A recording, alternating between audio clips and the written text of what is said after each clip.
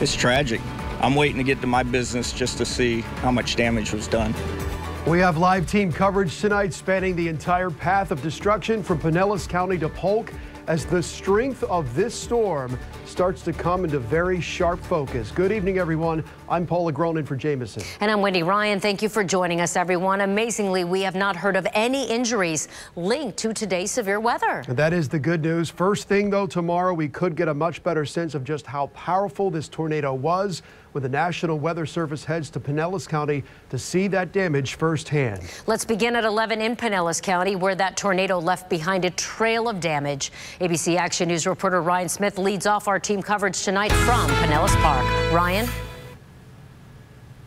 And I want to show everyone just how widespread this damage is. Take a look at this. Everywhere you look, you'll find metal siding just like this ripped off of buildings and littering this business park.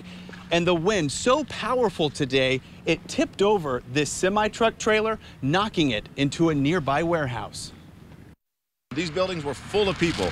Uh, they were working. It was the end of their shift. Wednesday's powerful storm left little time to prepare. Ran across the building and tried to get to the secure spot, only secure spot in this building. It's tragic. I'm waiting to get to my business just to see how much damage was done. Tonight, Kirk Blosser and so many other small business owners are bracing for yet another setback in 2020. A rare tornado touchdown in Tampa Bay, tearing through buildings and peeling back roofs. It's a big setback. I mean, hopefully everybody gets together and helps each other out. Pinellas Park PD reports 25 buildings were damaged.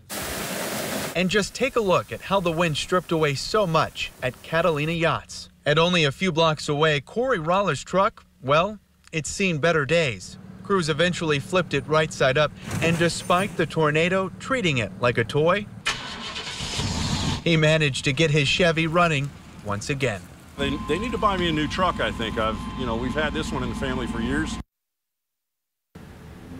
So the big takeaway out here in Pinellas Park tonight, amid all this damage, severe threatening damage, not a single injury. Incredible. Live in Pinellas Park tonight, Ryan Smith, ABC Action News.